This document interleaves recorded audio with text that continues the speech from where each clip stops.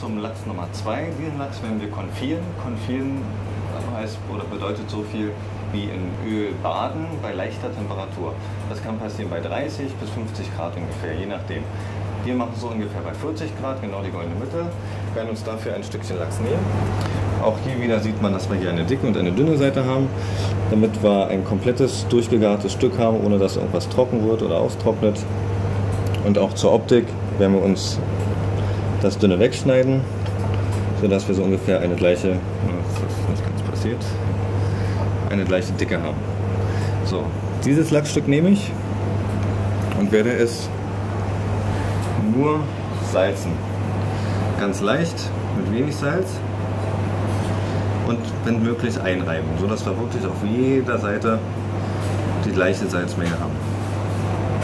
Das machen wir darum, weil der Fisch nichts weiteres braucht im Öl und damit äh, schön saftig wird und bleibt und wir eigentlich gar kein Gewürz weiter brauchen und der äh, Lachsgeschmack einzigartig ist dadurch. So, dieses Stück nehmen wir und werden es in, de, in dem Öl baden. Äh, das hat jetzt ungefähr 40 Grad. Man kann es einfach leicht testen, indem man so ein bisschen den Finger ranhält.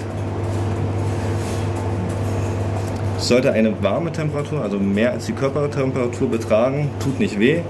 Ähm, sollte man aber auch nicht mit einem Löffel probieren, bevor man sich wirklich die Zunge bei 50 Grad verbrennt oder sowas.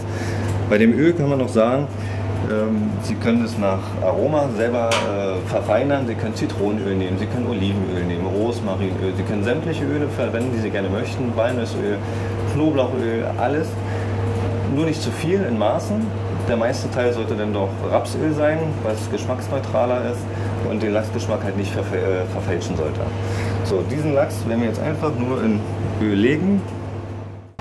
Wichtig hierbei ist, dass der Lachs im Öl schwimmt, dass er vollständig bedeckt ist. So erhält er eine gleichmäßige Garung. Hier kann man dann noch äh, darauf achten, da der Lachs sehr eiweißreich ist, wird als erstes passieren beim Lachs, dass das Eiweiß austritt. Das sieht man, also das können wir nachher ein bisschen zeigen, ähm, wie, da, wie das Eiweiß austritt. Das ist auch zugleich der Punkt, wo der Lachs dann schon gar ist. So, unser konfierter Lachs ist schon so gut wie fertig, wenn nicht sogar schon fertig. Ich hole ihn den mal raus. Man kann schon an der Oberfläche erahnen, dass die ganz kleinen Bläschen, es wird schon der Eiweißaustritt sein. Der Eiweißaustritt äh, steht kurz bevor. Unsere kleine Druckprobe zeigt, dass der Lachs eine feste Struktur hat, dass er quasi äh, durchgegart ist. Hier ganz unten an den Seiten sieht man schon den kleinen Eiweiß. Perfekt ist es wirklich, wenn man es schafft, das Eiweiß nicht heraustreten zu lassen. So ergibt es auch ein schönes Endbild. Und legen ihn zu den anderen dazu.